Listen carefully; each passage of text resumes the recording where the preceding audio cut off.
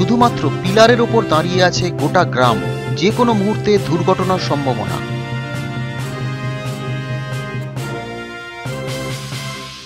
British আমলে কয়লা খননের জন্য রামনগর গ্রাম বিপজ্জনক অবস্থায় দাঁড়িয়ে আছে। রুফ অ্যান্ড পিলার পদ্ধতিতে মাটির তলায় কয়লা কেটে নেওয়ার ফলে শুধুমাত্র পিলারের ওপরে দাঁড়িয়ে আছে গোটা গ্রাম।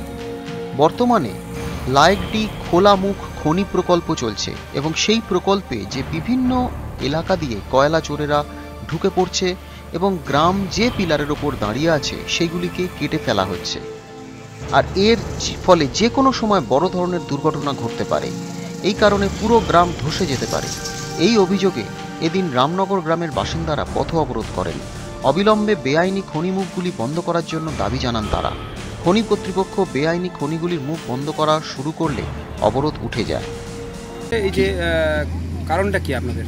কারণটা হচ্ছে এটা দেখছেন তো যে এটা এটা হচ্ছে like the open cast mines like the open cast mines বুঝলেন?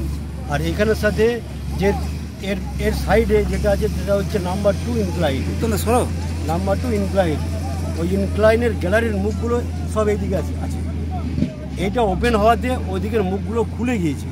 এবং মুখগুলো খুলে যাওয়াতে ওইখানে ইললিগাল লোকেরা ঢুকে যাচ্ছে, ঢুকে গিয়ে কয়লা ফায়ারিং করে ওরা নিয়ে যাচ্ছে। এবং ওইখানে যেহেতু ওই মাছটা চলেছে এর পূর্বে, তখন ওরা শুধু পিলারগুলো রেখে দিয়েছে, পিলারগুলো রেখে বাকি কয়লার অংশটা ওরা নিয়ে নিয়েছে। এবার শুধু পিলারের উপর গ্রামটা দাঁড়িয়ে আছে, ঠিক আছে? গ্রামটা এবং রোডটা, যে রোডটা বরাকর থেকে চিত্তরঞ্জন চলে গেছে। এবার রেজাল্টটা কী আসছে? যে পিলারগুলো কেটে নেওয়াতে যে কোনো দিন এটা সাত সাইডেই বসে যেতে পারে।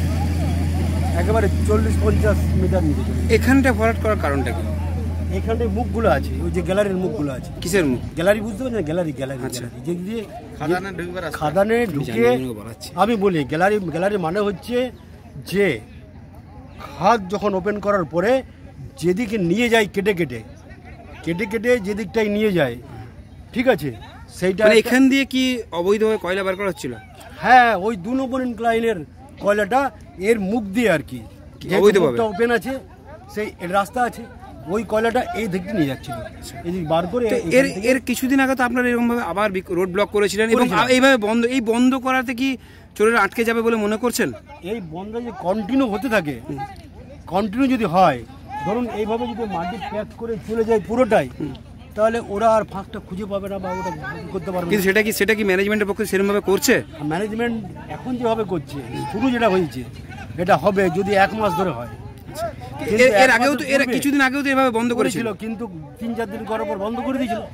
তারপর করো- ওই ইয়ে লকডাউন হয়ে গেল। লকডাউন হয়ে যেতে আমরাও আসতে পারলাম না। মার্চের সময় যেটা জনতা কারফিউর পর যে লকডাউনটা হলো তখন ঘরে ঢুকে গেলাম সব। সেই সুযোগে চোররা এই কাজটা করে দিল এটা কি গ্রামবাসীরা করেছেন আপনারা যেটা কাজ মানে রোড ব্লকটা পুরোটাই গ্রামবাসীরা করেছি।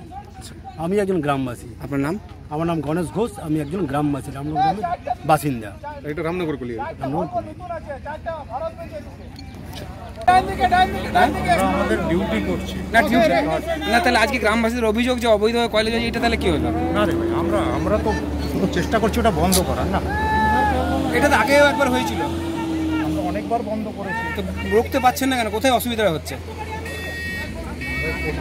হ্যাঁ? এখানে দেখতে পাচ্ছ তো পুলিশ আছে প্রশাসন আছে আমরা আছি গ্রামবাসী আছে আমরা করছি। আর কোথাও অসুবিধা হচ্ছে? বন্ধ করতে আর একটা বলছি গ্রাম ঢুকে যাব সবাই একসাথে হলেই করা যাবে।